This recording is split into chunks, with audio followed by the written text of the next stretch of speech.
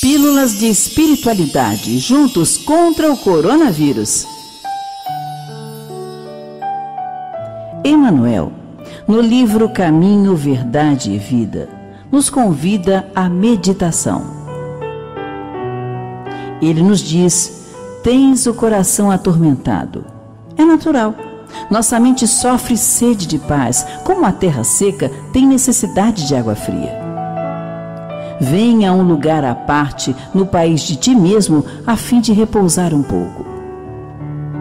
Concentra-te por alguns minutos em companhia do Cristo no barco de teus pensamentos mais puros sobre o mar das preocupações cotidianas.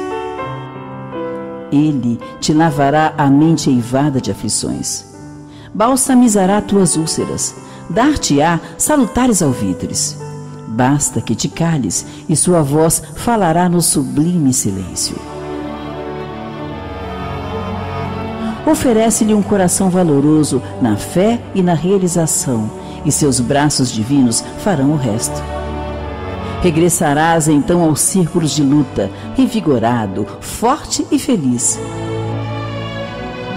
Se seguirmos estas recomendações do benfeitor Emanuel, alcançaremos a paz interior uma campanha da área de comunicação do Conselho Federativo Nacional da FEB e da Rádio Rio de Janeiro no enfrentamento do coronavírus. A emissora da fraternidade,